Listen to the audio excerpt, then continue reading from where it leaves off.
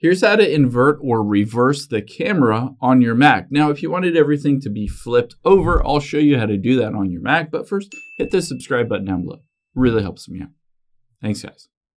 Now, let's open up the photo booth here just by tapping on the search icon at the top right. And then we can type in photo booth and click on it to open it.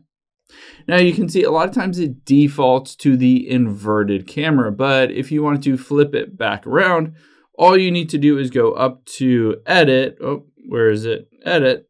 And then tap on auto flip new items. This might be checked for you. If it is, you can take a picture and be able to see it won't flip the camera around here, but you can see this image has the bookshelf on the left and this one has a bookshelf on the right. So just whichever you prefer, just go into edit and tap the auto flip new items and you're good to go.